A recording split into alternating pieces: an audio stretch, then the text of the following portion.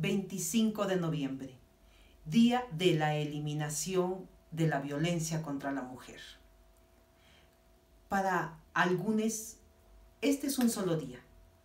Para muchos, es toda la vida.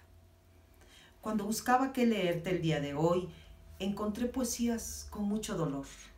Obviamente con mucho dolor. Pero ¿sabes qué? También encontré poesías con mucha fuerza, con mucha luz, con mucho amor.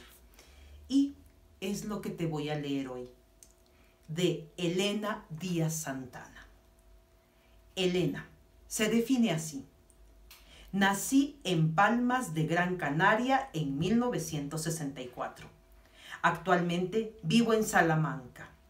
He publicado poemas en la revista digital Crear en Salamanca. Soy licenciada en Filología Hispánica por la Universidad de Salamanca. Y de Elena te voy a leer Dueña de tus amaneceres. Eras halcón antes de ser pájaro enjaulado. Eras luz antes de que la sombra de su mano tu corazón cubriera. Resignación es palabra antigua que no trae rama de olivo en pico de paloma. Es travesía sin agua aceptar la sed. A ser libre mujer, no temas. Extiende tus alas, danza en tu vuelo.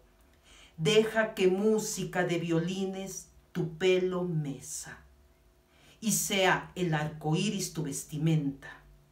Rompe del miedo las cadenas y que la vida deposite en el renacido cuenco de tus manos solo gotas de miel. Sé que este es un día para que recordemos que no estamos solas. Recordemos que habemos muchas para ti. Aquí estamos lo importante es que te cuides mucho y que hables. Eso, hablar, es muy importante. Muchas gracias.